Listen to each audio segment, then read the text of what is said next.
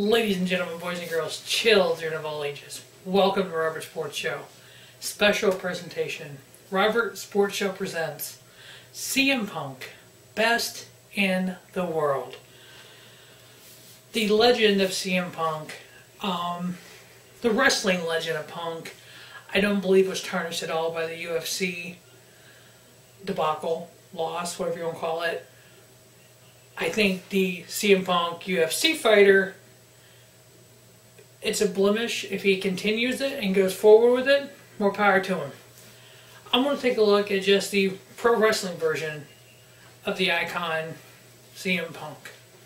His very first match was March 13th, 1999, which he had almost a 15 year run in pro wrestling.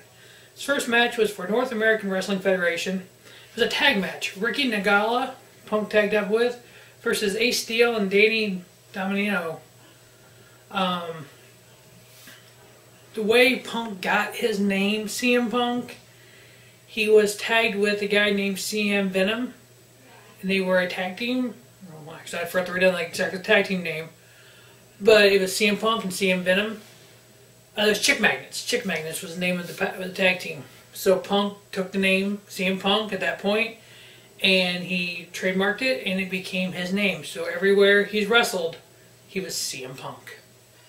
Um, his first singles match was June of 99 versus El Mosquito. It was a loss. His first singles win was a week later versus Tank Thomas. Um, he started wrestling, like I said, in 1999 for North American Wrestling Federation.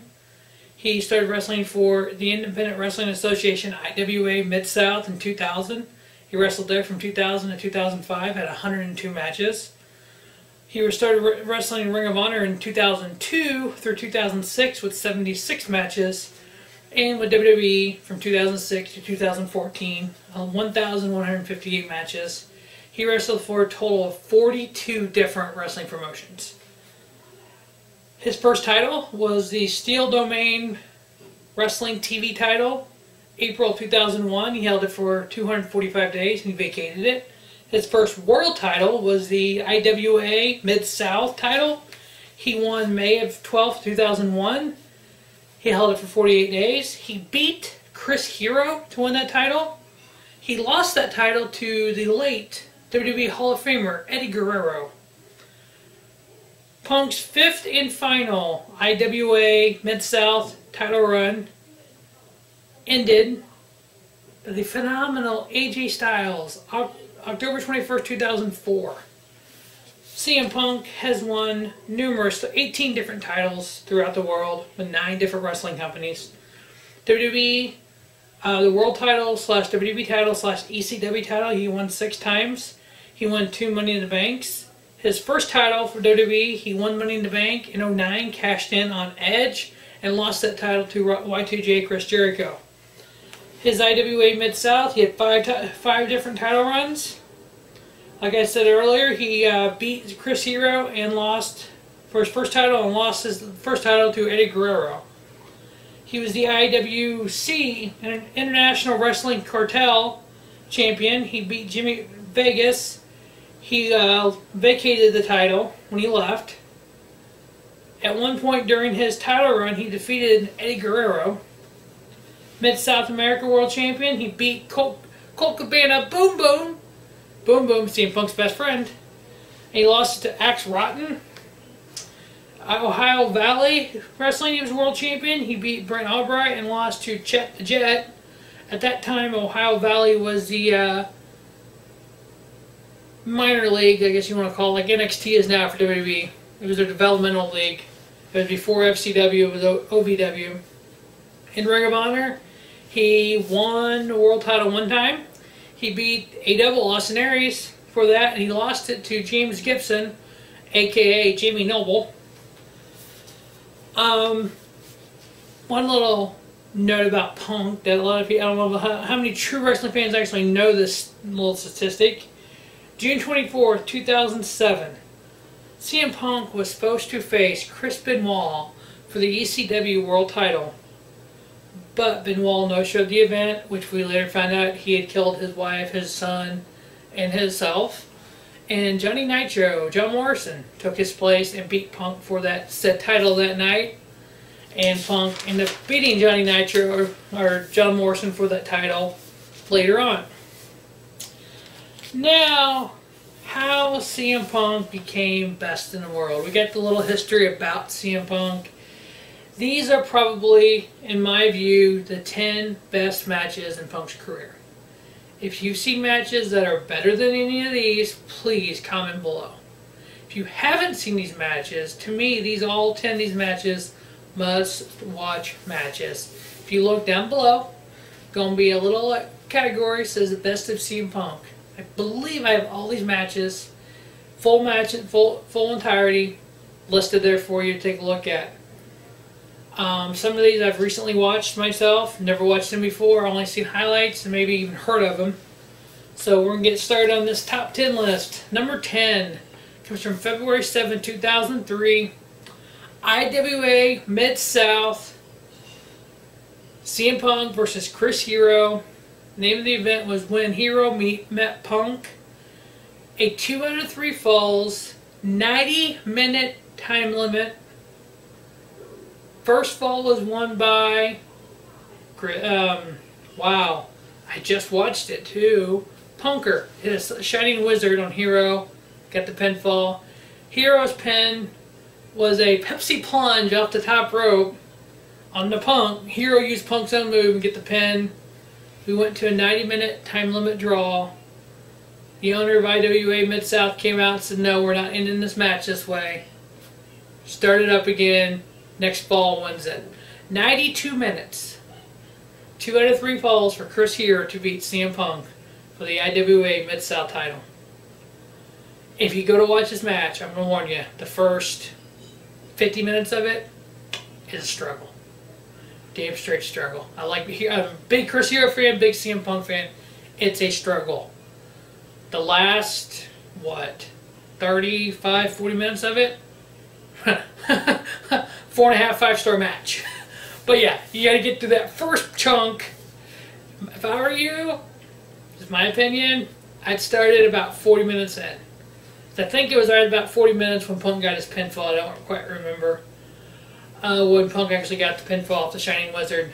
But then you started about there to finish it. Oh yeah, it's it's, it's glorious. Uh, number nine on my list comes from August 24, 2009. WWE SummerSlam. TLC versus Jeff Hardy.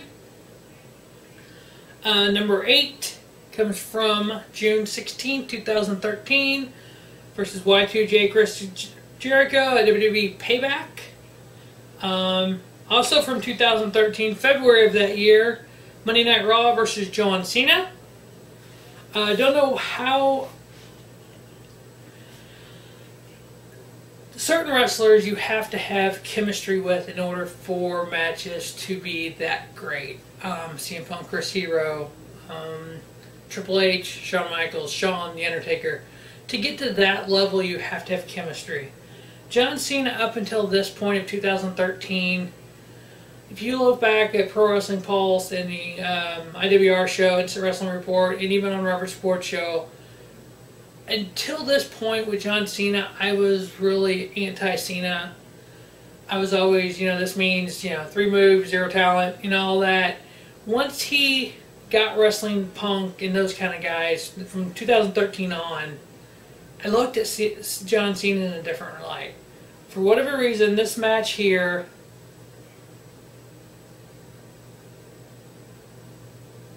actually I take that back. It was 2011-ish is when um, Punk and uh,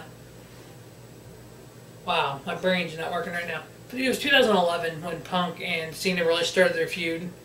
But this 2013 match is one of those matches that you realize these guys have the chemistry.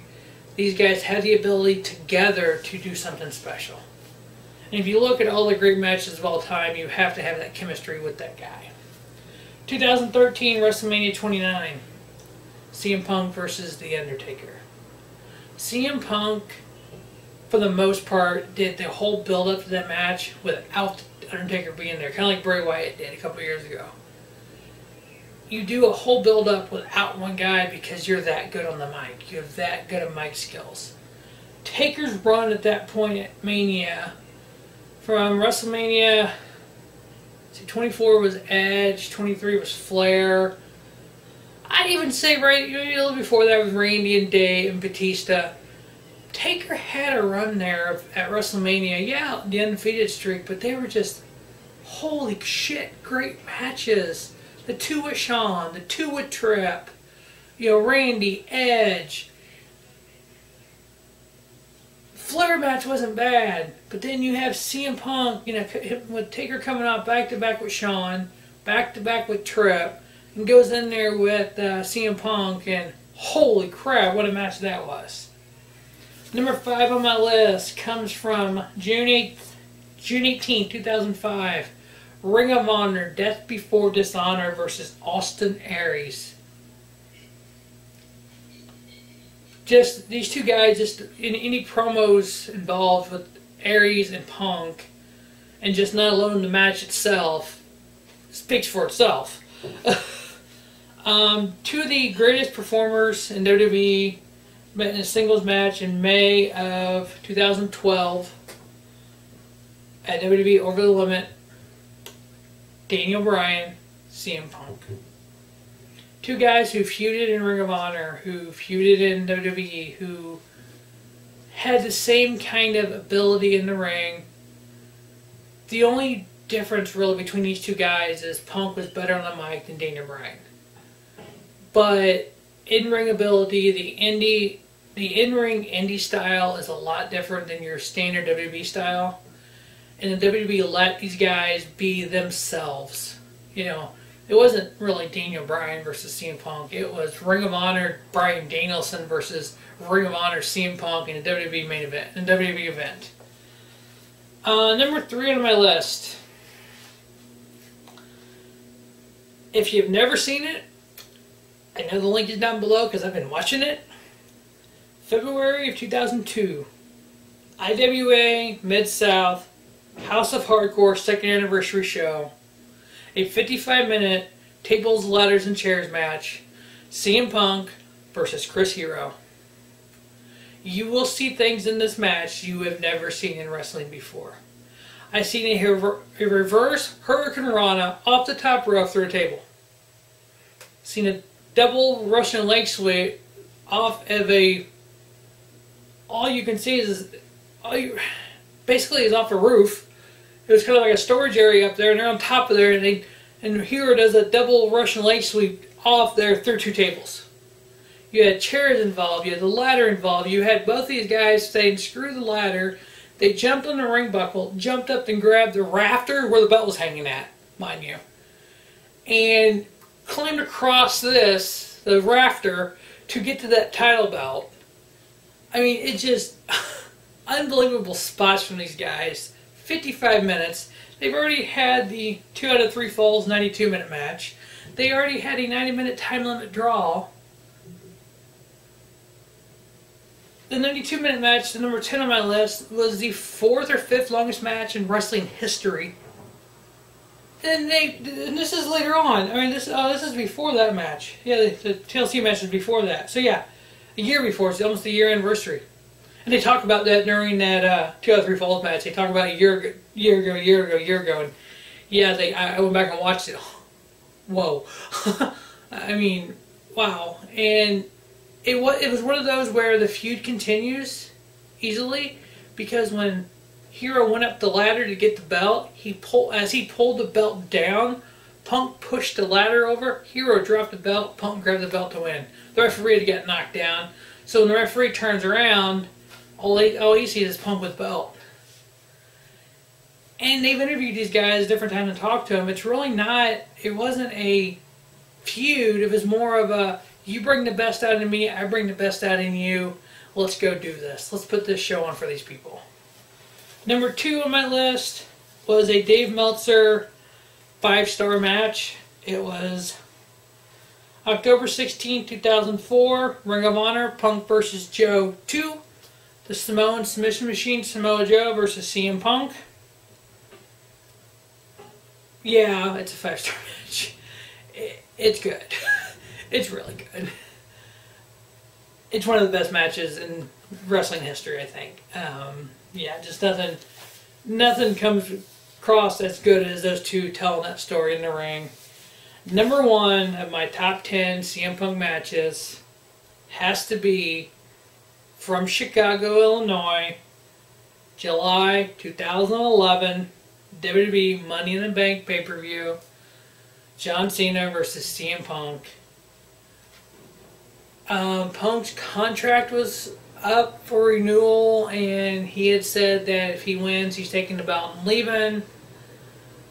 The whole storyline with that, the storyline with Cena, being in Chicago, Punk, you know, it had all the possibilities of the Montreal Screwjob. That's what that's the real feeling I had watching this match is oh my god, it's Montreal all over again. They're gonna screw Punk in Chicago like they screwed Bret Hart in Montreal. Eh-eh. Did not that happen. You had the best wrestler in the world, CM Punk, beating John Cena in his in Punk's hometown of Chicago. Go Cubs.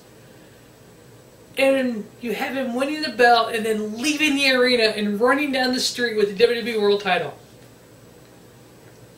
You can't script it better than that because it was something where Punk was leaving because of a contract, but he actually had renewed the contract before the match, so it wasn't that. But still, you didn't know, you know, from the fans' point of view, you didn't know this. You didn't realize, you know, he had already resigned. This is all storyline. You're like, okay, did he? Is it? What is this? Um, are we going to have the screwdriver? No, we don't have the screwdriver. We have Punk winning. Now what? You end up setting up, you know, Punk world champion versus John Cena world champion later on, it's like, holy crap. Punk's last match in WWE was in 2014 WWE Royal Rumble. His last singles match was on Monday Night Raw versus Billy Gunn. His last title, WWE title, he won it from Alberto Del Rio. And he lost it to The Rock at Royal Rumble 2013. Um, he had this from 2011 so November Survivor Series of 2011, after the whole everything with John Cena, after he came back from his little hiatus there and was dual champions, and then he ended up, you know, winning the title at Survivor Series. He started a 434 day title run, the sixth longest title run in WWE history. Dates back to 1963. 36 times he defended that title during that title run. The the the last title run that was a, as longer than Punk's was from January of '84 through February of '88, which was Hulk Hogan. There's a lot of talk of what what's next for CM Punk with his UFC loss. Um, Dana White coming out saying that his MMA career is over for CM Punk. Does WWE reach out and grab CM Punk at this point? Last year, this past year, 2016 Royal Rumble, we had the WWE debut at number three in the Rumble of the phenomenal AJ Styles. Could we see 2017 Royal Rumble return the best in the world, CM Punk? Only time will tell. Special shout out to CM Punk. And the only person that can say happy birthday to CM Punk is CM Punk himself. Check this out.